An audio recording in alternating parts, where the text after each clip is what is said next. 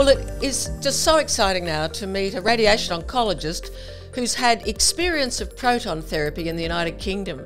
Do you mind just introducing yourself, giving us a little bit of background uh, about yourself as a radiation oncologist, but then tell us what took you to the Christie and the focus of your work there? Yeah, sure. So my name's Eunji Hwang. I had uh, completed my radiation oncology training in Sydney. Um, and I was fortunate enough actually to be awarded the Thomas Baker Grant through the college that I specialise through. And that affords uh, someone to go overseas for extra experience. Um, and my post through that was at the Christie Proton Therapy Centre. Uh, which is the only operational NHS funded high energy proton therapy centre in the UK. Um, and so I had first-hand experience in working with patients uh, receiving proton therapy. Uh, it was an invaluable experience. As you know, with proton therapy coming to Australia, there has to be work in preparation, in training up the necessary people for that. Um, and so my hope was to really bring back some expertise and also see what people around the world are doing very well in this space. Look, before I ask you the key questions I have for you to deepen the knowledge of our our viewers uh, to what proton therapy is and its potential benefits to certain types of cancer patients, just off the top of your head, what are the three key things you'd tell uh, a fellow radiation oncologist that you've learnt about proton therapy? Okay, a fellow radiation oncologist. Yeah. So I would say that I view proton therapy as another tool in the radiation oncology sort of toolbox or tool belt. It has its place and its purpose for specific tumors and in specific patients. Um, I like to emphasize its uh, yeah, potential promise, as you said, Julie, um, and the exciting uh, possibility of it reducing side effects in patients, particularly in our younger patients. Um, yeah, but that, that, that's really what I would focus on. So there's a, it's cautious, it's qualified, but it's optimistic. Yeah, exactly. Okay. My understanding is that we have to understand dose distribution to fully understand the potential benefits of proton therapy. And you've got a diagram there. Can you show me on the diagram yeah. what this dose dis- distribution is all about and why it's so crucial? So I think it is best explained through a diagram rather than using lots of words to try and explain what this graph shows. Um, but this shows really the difference between conventional radiotherapy as it enters the human body and proton beam therapy. And so if you look at this green line, this is conventional photon or X ray therapy. And when it enters the patient, it is highly penetrative, but it deposits most of its dose maximally within the first few centimeters upon entering the patient.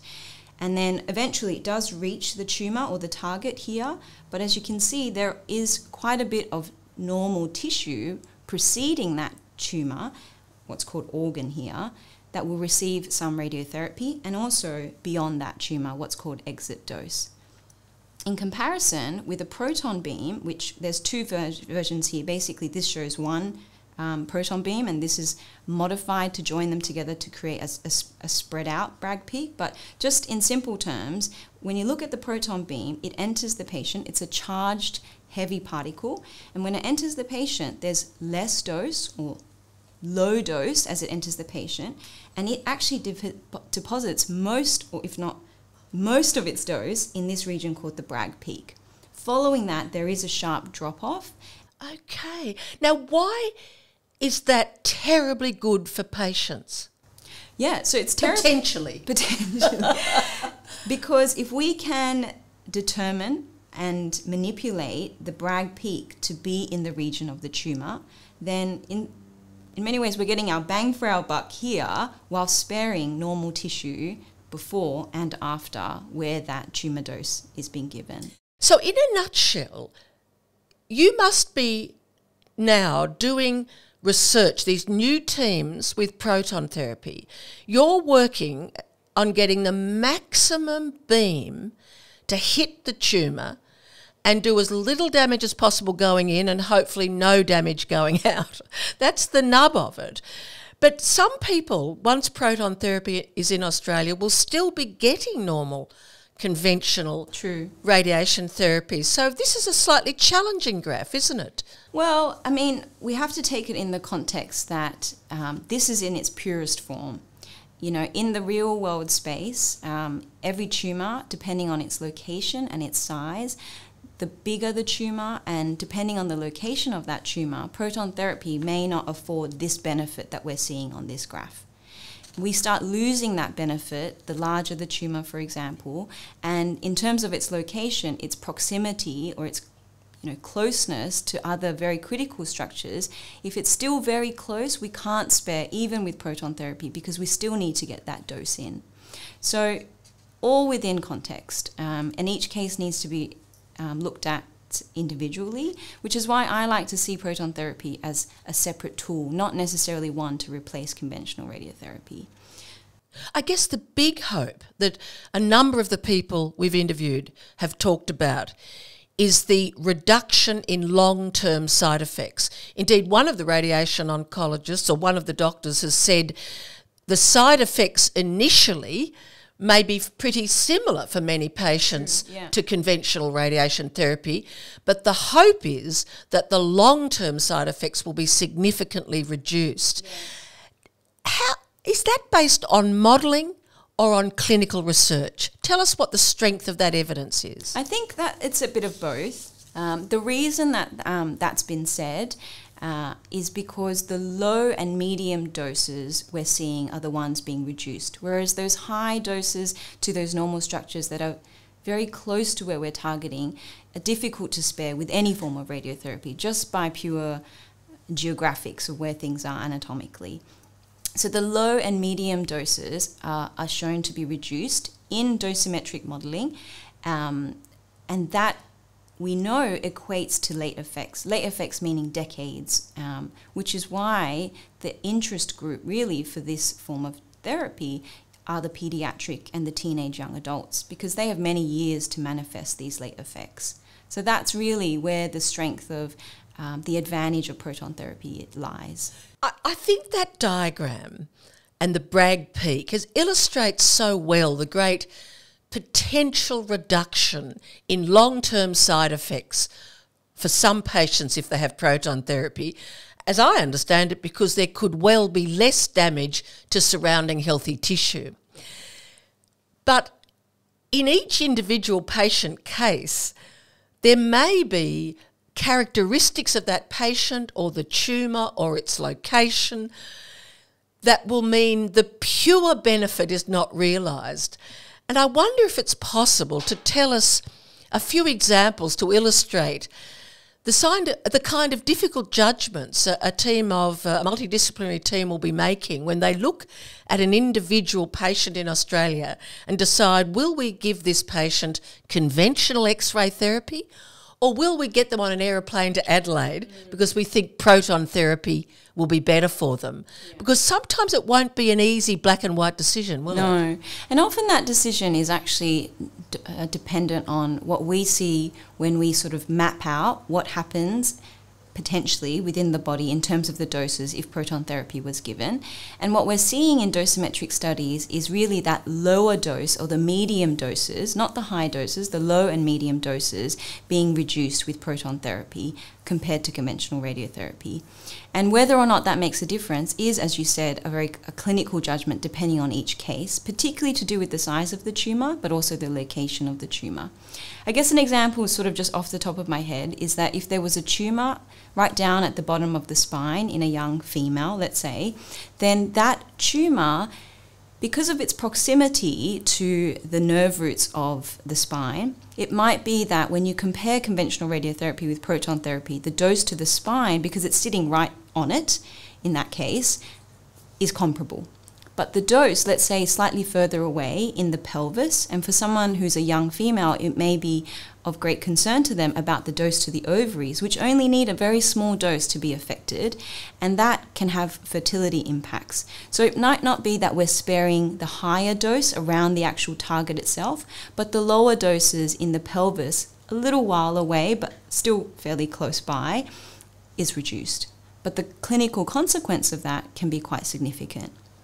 Another example maybe we do treat tumors in the region in, inside the head called the base of skull, which is where the brain sits, and there can be these rare tumors called sarcomas that, that emerge there.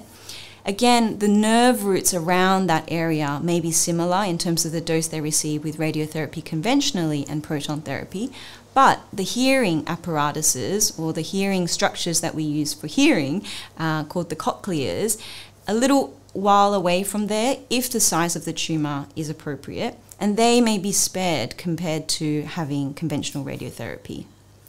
These are probably my two best examples right now. Thank you. And, and it allows us to see some of the complexity of the judgments.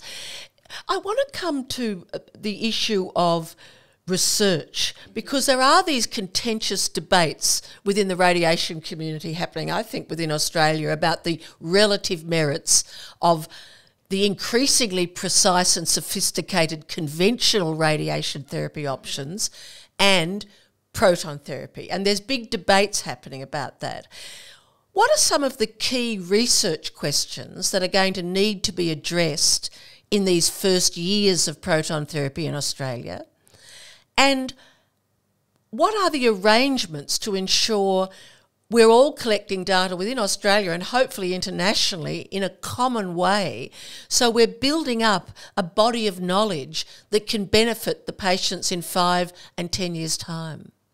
Sure, yeah, that's a big question, Julie. So there is some data out there about proton therapy, um, but the skeptics will uh, say, understandably so in many regards, that the data is insufficient. Uh, so there is an ongoing effort now and into the future about collecting the necessary data, and I think really the data priorities in this space are to do with outcomes. So outcomes in terms of survival and local control. You know, how good are we at controlling tumors, um, and how are people surviving with the proton therapy? Also, though, patient reported outcomes, so the patient experience in receiving proton therapy and the logistics around that but also, of course, the side effects or the toxicity outcomes, what we call, um, in terms of early and late effects. I think it is important for us to be able to coordinate on a national and an international level the type of data that we collect because it really gives us an opportunity once we can collate those patient and those tumor characteristics to make more meaningful uh, conclusions and mine that data in a more meaningful way. And is that collaboration occurring already in Britain. We, we've interviewed, uh, you were working at the Christie in Manchester uh, when you were a fellow there, and we've interviewed people at the Christie, and we've also interviewed people at University College Hospital London. Is it University College London Hospital's proton therapy unit? And they're talking about um, collecting common data. So, is so can we be optimistic as patients and families that you're all working together to get the best data? Yeah, absolutely. I mean, I think the UK is a, a great example of that. Um, having only opened really operational protons um, through the NHS system in the last few years, the UK has recognised very sensibly that collecting data uh, consistently and um, conscientiously from the outset is very important to contribute to the literature that's growing about proton therapy. And having two national centres um, to try and coordinate that effort is going to only exponentially maximize what sort of data they're getting. Um, so, yes, I, I know firsthand that um, the data that they're collecting, they're making sure that the nomenclature or the data items they're collecting are consistent and the types of things they're collecting are also consistent. Can you explain what a patient registry is in the cancer research world and then tell us what's happening there with proton therapy? Yeah, so a patient registry really provides an opportunity for every patient that's receiving proton therapy to have their details uh, collected. This, you know, in terms of their patient characteristics, in terms of their tumor characteristics, and their treatment characteristics.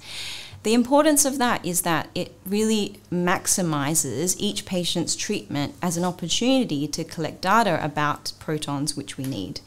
Um, the reason I think that that's most important is it's collecting real world evidence, isn't it? In terms of what's actually happening, we can look at graphs all day, I suppose, but looking at the clinical effects of what's actually happening when we deliver these this treatment to real patients, um, and you know, using that as a a resource to be able to mine that data and again make meaningful conclusions. So, is one set up in Australia already? Do you know? Yeah, so that's a, a huge effort um, that's being um, put together in terms of making sure that when the centre is operational, um, that first Australian centre in Adelaide, that there is a, a, a corresponding patient registry that's ready to go to collect that data. The overall theme of these uh, webinars is, you know, what can we do to improve the radiation experience, including proton therapy, the radiation experience for patients and families. And we have done a whole feature on the Christie. Uh, but as someone who spent, I think, a year there uh, working, three or four of the things they're doing there that you think really add benefit uh, to patients, particularly the the children, adolescents, and yeah. young adults. Yeah, no, they're doing lots of great things there, um, which I'm sure you saw as well as you've interviewed people there. I think the really the key thing that they're doing well is really their holistic approach to their care and management of patients, particularly children. And this goes from looking at details such as providing accommodation for people who live far away, and this is weeks of treatment, sometimes you know five, six, seven weeks of treatment, providing accommodation um, that's funded for them, accommodation, oh sorry, so accommodation as also transport daily to receive their treatment. There's also a school provided within the centre so that education um, is being continued for the children in as you know as as sort of similar a way as back home. Um, equally, they've really designed the space thoughtfully to be appropriate for pediatrics. There's also a separate corner for teenage young adults. Um, and I think another crucial thing that they've um, incorporated within their staffing is someone called a key worker. And this is not necessarily someone who's uh, nursing trained or radiation therapy trained, and can be either or. But it's someone who really walks through a treatment journey uh, consistently with the parent and their family or an adult, um, and it becomes a familiar face and a real point of contact for patients who are trying to navigate all these different cogs um, within their treatment journey. Oh, that's fantastic. Well, look, thank you so much. You know, it's just been enormously interesting to get the benefit of your uh, experience in the United Kingdom. Were you glad you uprooted yourself and went to the Christie to learn about this new technology? Oh, absolutely. Yeah. Even though, you know, during global pandemic times, not something I expected, and it did cut my time slightly short. Um, but the, the experience I had there, the knowledge that I feel like uh, I was exposed to and was involved in in the clinical care, and just seeing how, how well they're doing um, implementing a lot of what we've talked about from the outset, um, I wouldn't have changed anything. Ah, great. Well, thank you so much. Thank you, Julie.